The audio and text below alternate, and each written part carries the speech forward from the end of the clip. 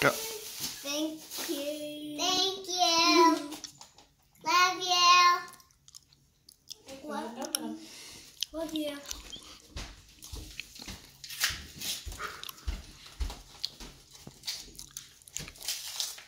And who is this from?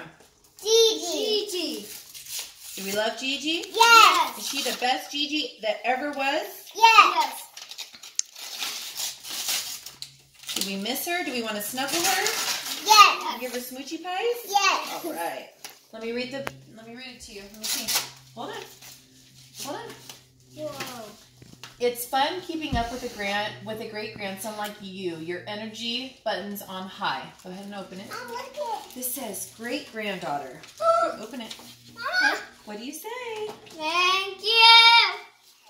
Mommy. Let's read the look, Weston. There's more. It says, Weston, and if I can catch you, I'll give you a hug because you're one little lovable guy. Have a super fun Easter. Have a fun Easter. So happy to have a new.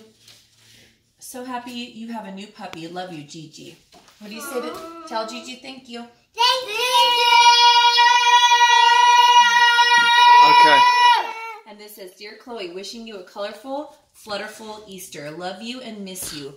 Hope you have a fun Easter. Have fun with your new puppy. Love, Gigi. Um, All right. What are you going to do with your money? put it in my money bank. Put it in your money bank? What are you going to do? Money bank? Yeah? Okay. Can't put them in my money bank Why? because I, I can't. Maybe your wallet? Hello, in my wallet. And what are you going to save up for? What? What are you saving it for? What are you going to buy? Chicken nugget. Chicken nuggets.